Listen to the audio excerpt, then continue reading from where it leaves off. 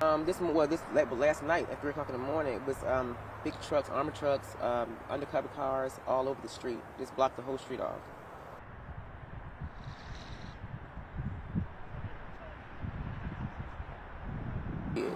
It's quiet. Um, I kept my kids home.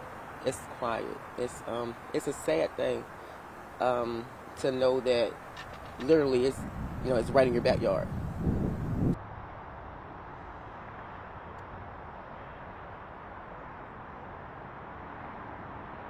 He he seemed a little weird.